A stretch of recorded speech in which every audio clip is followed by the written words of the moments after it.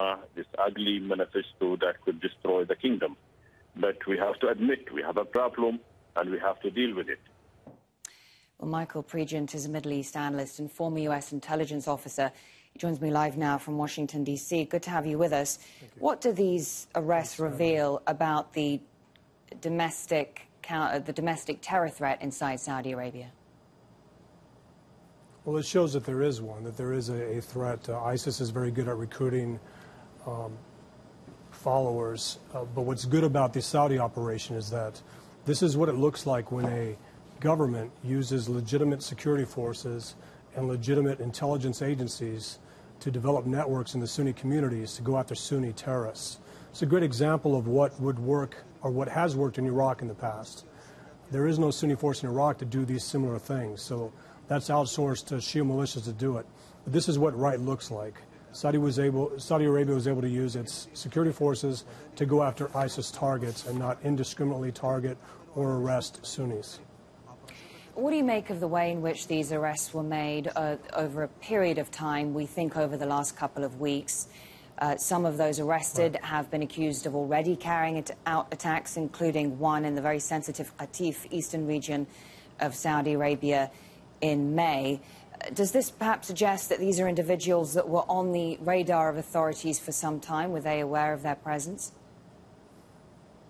Well, it looks like there was some uh, intelligence developed based on the initial cells identified by the Saudi Arabians. So you start to monitor those cells. You see who else they're talking to.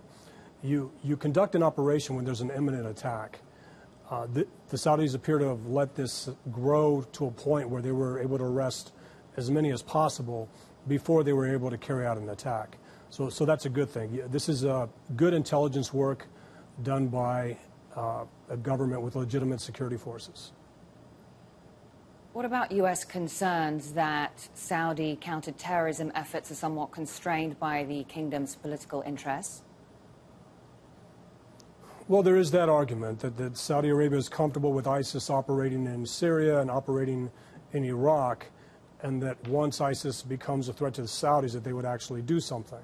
So you can make that argument. But this also demonstrates that um, good intelligence can result in the capture of 431 individuals, alleged, alleged ISIS members. But there should be intelligence that follows through these arrests.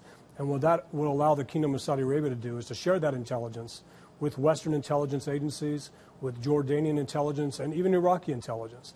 This panics ISIS as an organization in Raqqa, Deir ez-Zor, Ramadi, Fallujah, and Mosul, because a lot of those plans will probably be revealed basically talking about what ISIS was trying to do as part of this Ramadan offensive. And some of the suspects uh, are not just from Saudi Arabia, they're from a number of countries in the Middle East and North Africa. What does this tell us about the freedom of movement uh, of fighters from one country to another? And I guess uh, to some extent what that means in terms of them being able to evade the arrest and the detection of authorities? Well, you're able to come into Saudi Arabia on, a visa. You're able to come in through the porous border that it shares with Iraq. You're able to come in from different places. So you can come in. But it's only when you get on the radar screen where you start affiliating with terrorist cells or ISIS sympathizers that you'll, you'll come on the radar. But what it suggests is that ISIS can actually uh, use foreign fighters in the Kingdom of Saudi Arabia to go after Shia targets and also government targets. So it is concerning. Michael Pregent.